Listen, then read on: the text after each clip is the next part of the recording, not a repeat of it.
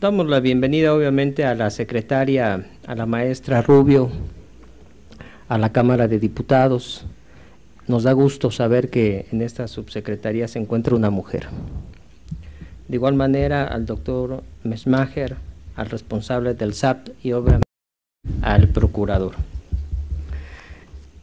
Eh, hago uso en nombre de, eh, a nombre del grupo parlamentario del Partido de la Revolución Democrática y sin duda hay una serie de dudas con respecto al paquete económico.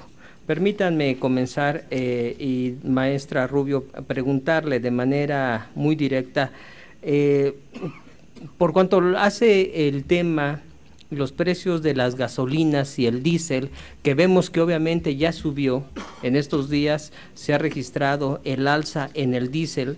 El planteamiento contenido en el artículo décimo segundo transitorio de la iniciativa de la ley de ingresos menciona, menciona principalmente la estabilización, la liberalización, perdón, de los precios al público a partir del 2017. Le quiero compartir que el PRD no estamos de acuerdo eh, en dicho adelanto y mucho menos en delegar tal determinación en la Comisión Reguladora de Energía y la Comisión de Competencia Económica. Los efectos negativos en los bolsillos de los mexicanos van a ser enormes.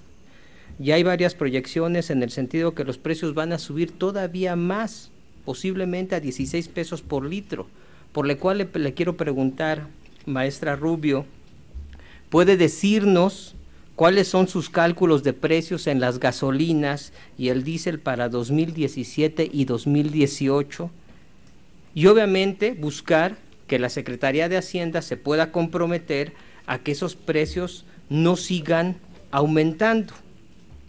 Por otro lado, y en otro orden de ideas, en el documento, maestra, se menciona en el documento medidas para continuar fomentando la transparencia de las finanzas públicas, de la Secretaría de Hacienda, hay una clara tendencia a subestimar los ingresos, los ingresos públicos. Tan solo en el 2016, la subestimación alcanzó 2.6 puntos del Producto Interno Bruto. Estamos hablando de 498 mil millones de pesos para los ingresos presupuestarios.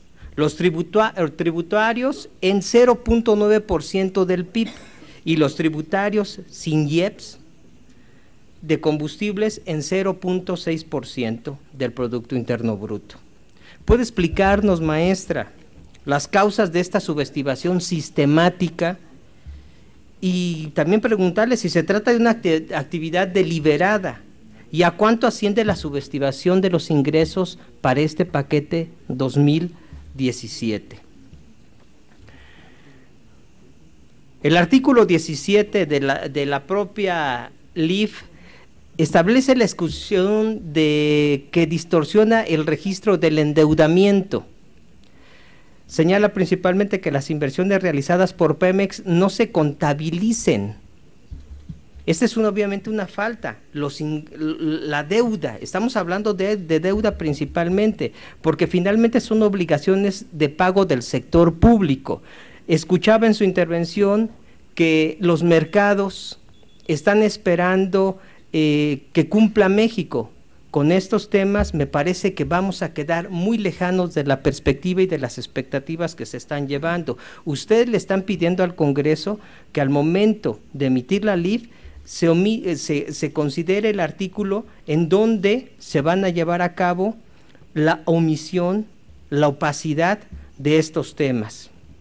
Si es verdad que se había definido como una medida contracíclica, pues realmente no se, no se está viendo en el crecimiento y en el desarrollo del país. Hay opacidad en, en este tema. ¿Ustedes están de acuerdo que el gobierno legalice otra vez un endeudamiento que no se registra pero que sí se paga? Es importante saber el punto de vista de ustedes. Por otro lado, quiero referirme a la situación de una serie de, variables macroeconómicas eh, con respecto al tipo de cambio. Ustedes lo definieron en el paquete económico a 18 pesos con 20 centavos. Obviamente esto ya fue rebasado desde hace muchos días. La tasa de interés en 4.9%. el precio del barril de petróleo en 42 dólares y la plataforma de producción en 1.928.000 barriles. ¿Cuáles de esas variables han quedado rebasadas, maestra? Y sobre todo, por tanto, ¿qué tenemos que modificar de este paquete económico? Es fundamental para el Congreso conocer las opiniones que tengan ustedes al respecto. Es necesario modificar este paquete económico. Las situaciones, desde nuestro punto de vista, y, obviamente lo vemos, ha sido completamente rebasado.